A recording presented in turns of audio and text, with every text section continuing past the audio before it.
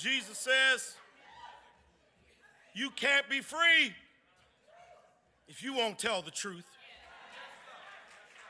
You'll always be a slave if you don't tell the truth.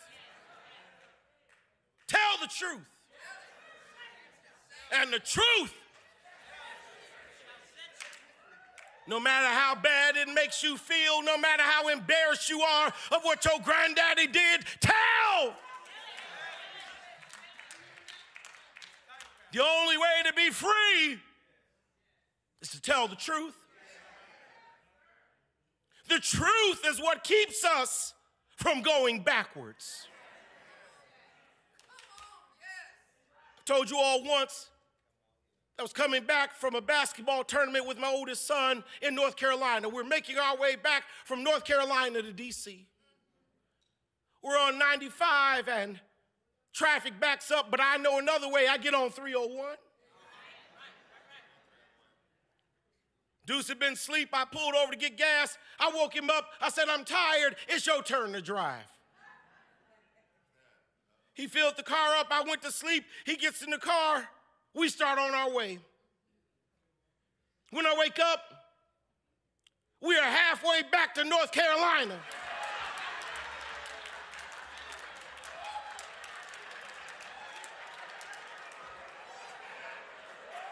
And I'm mad.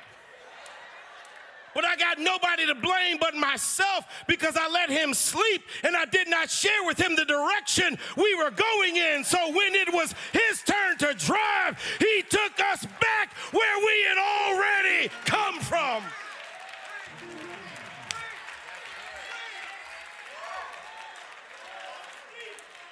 When we don't tell the truth, we raise a generation that takes us backwards. No wonder, no wonder we're seeing low voter registration because we're not telling the truth.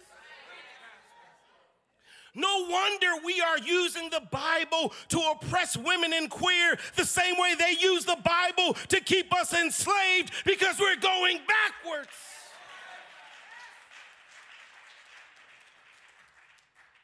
Tell the truth. Because the only way you can appreciate what's in your hand is if you know what it cost.